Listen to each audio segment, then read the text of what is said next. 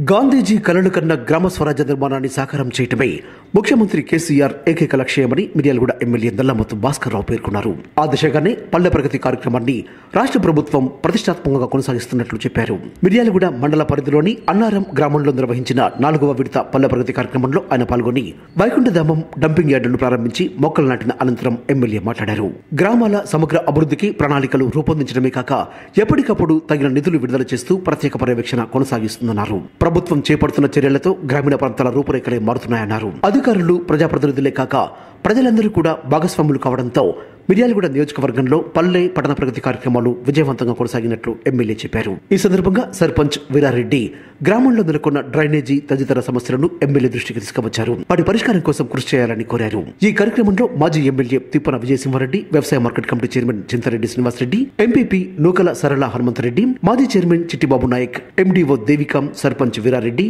మట్టపల్లి సైదులు తదితరులు పాల్గొన్నారు. గ్రామ అభివృద్ధి కోసం ఎమ్మెల్యే గారు ఈ ఎనలేని కృషి చేస్తున్నారు. కాకపోతే మాకు ఈ మిషన్ భగీరథ వాటర్ ట్యాంకర్ కట్టే రోజు చోటు తీసుకోలేకపోలేదు పల్లె ప్రభుత్వానికి కూడా చోటు దగ్గర గట్టు దగ్గర తీయించారు వచ్చిన వాటికి కూడా చోట్ల అప్పుడు గొడవలేని మా పరిస్థితి ఏంటంటే ఇప్పుడు మేము అభివృద్ధి డ్రైనేజీలు కావాలంటే ఆ డ్రైనేజీలు తీసుకుపోయి చివరి పొలాలలో వేసి ఆ పొలాల వాళ్ళు మా పొలాలన్నీ ఖరాబ్ అవుతున్నాయని మాకు పెద్ద ఎత్తున గొడవలు అవుతున్నది. ఎవరు వచ్చి డ్రైనేజ్ కట్టు డ్రైనేజ్ కట్టు అని చెప్తున్నారు.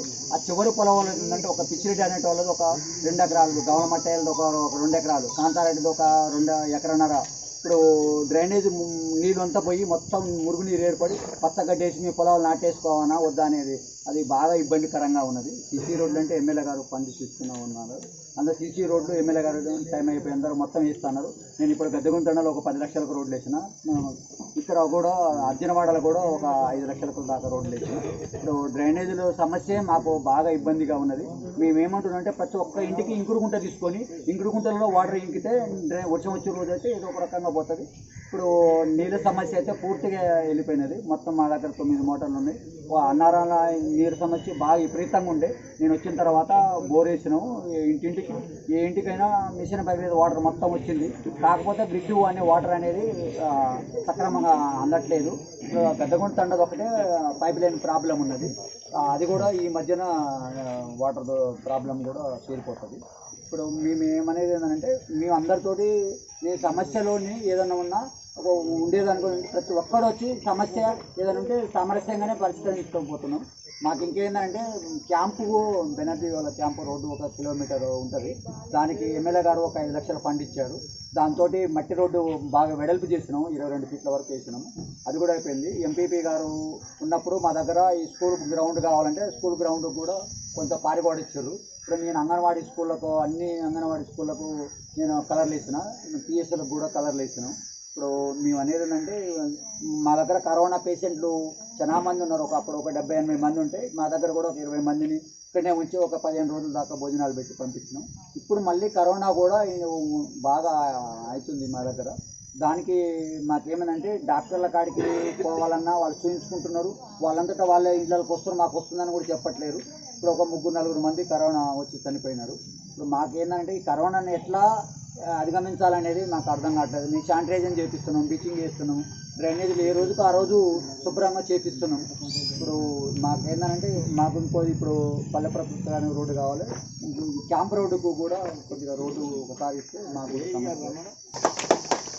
ముఖ్యమంత్రి చంద్రశేఖరరావు గారు ప్రతి గ్రామంలో ఎందుకంటే ఇదివరకు ఎక్కడ ఎవరి పొలాల్లో వాళ్ళు కా- మనం వాళ్ళు మా దేహాలను మనం అందరం మనం ఎందుకంటే దాంట్లో తగలబెట్టుకునే పరిస్థితి అటువంటి లేకుండా ప్రతి గ్రామంలో కూడా ఒక వైకుంఠధామంలా కట్టి మరి దాంట్లోనే మరి దాన్ని దానం చేయాలనే ఉద్దేశంతో వైకుంఠ ధామాలు ప్రతి గ్రామాల్లో మొత్తం పన్నెండు వేల ఇరవై వందల గ్రామ పంచాయతీల్లో మొత్తం అన్ని గ్రామ పంచాయతీల్లో వైకుంఠ ధామాలు కట్టాల్సిందని చెప్పి పన్నెండు లక్షల యాభై వేల రూపాయలు ఇచ్చి వైకుంఠ ధామాలు కట్టి దాంట్లోనే పూజ చేసుకునే కార్యక్రమాలను కూడా ఏర్పాటు చేసినట్టు కూడా చేయడం జరిగింది.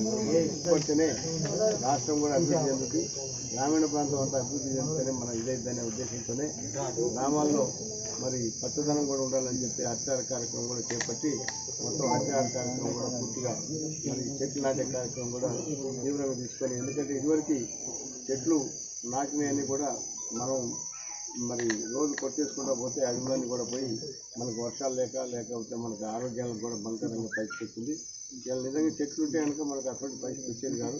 కాబట్టి ఇప్పుడు మన ముఖ్యమంత్రి గారు దాన్ని అందుకనే మళ్ళీ ఎంతైతే చెట్లు పోయినాయో అంత చెట్లు మనం పెంచాలనే ఉద్దేశంతో ఎక్కడ కనపడదని దగ్గరల్లా ప్రతి చోట ప్రతి మనిషి కూడా ఒక చెట్లు రెండు చెట్లు మూడు చెట్లు పెట్టి ఇది నా బాధ్యత అని చెప్పి ఒక అది పెరిగేదాకా మన బాధ్యత అని చెప్పి పోయాల్సిన అవసరం ఉంది అనే దాని దృక్పథంతో కార్యక్రమాలు చేపడుతున్నారు. కాబట్టి మన అందరం కూడా దానికి సహకరించి మనం ఏ విధంగా అయితే మనం అడుగులు పెంచుకుంటామో ఆ విధంగా మనకు అంత లాభం జరుగుతుందని కూడా మీకు మనం తెలియదు మరి అట్లా పెంచకపోవటం వల్ల మనకు ఇట్నే కరోనా అనే దానికి ఇది వస్తుంది. మీ ఊర్లో వాస్తవంగా కరోనా ఉంటే నేను డాక్టర్తో మాట్లాడినా. ఏదో ఒక రకంగా మొత్తం అందరికి వ్యాక్సినేషన్ కార్యక్రమం కూడా ఒక నెల రెండు నెలల లోపల మొత్తం అందరికీ మన దగ్గర ఉన్న వాళ్ళందరికీ కూడా వ్యాక్సినేషన్ కార్యక్రమం కూడా ఇస్తున్నారు ఎందుకంటే మేము తప్పనిసరిగా వ్యాక్సినే ఇక్కడ ఊరికి పంపడానికి ఇబ్బంది ఏమి లేదు కానీ తప్పనిసరిగా ఒక డాక్టరు కంపల్సరిగా ఆ వ్యాక్సిన్ వేసేటప్పుడు ఒక డాక్టర్ పక్కన ఉండాల్సిన పరిస్థితి ఉంది. అది గవర్నమెంట్ యొక్క రూల్. ఎందుకంటే వ్యాక్సిన్ వేసినప్పుడు కొంతమందికి పడదు. పడకపోతే అది ఓకే ఆ నిమిషంలో ఏదైనా అయితే కనుక డాక్టర్ లేకపోతే ఈ ఏనేంలో ఇల్లు ఏం చేయలేరు.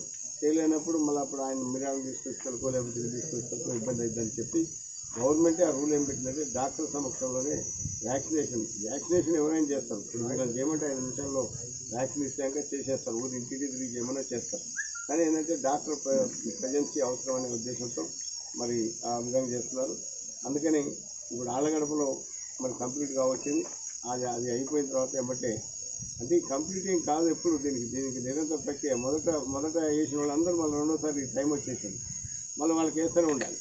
నాలుగడప నుంచి ఇక్కడ షిఫ్ట్ చేసినాం రెండోసారి వాళ్ళు మళ్ళీ అక్కడ రెడీగానే ఉన్నారు. అందుకని మనం మీరు మీరు కనుక ఓపుకొని మీరు ఆలగడ్డ దాకా పోక్కర్లేదు.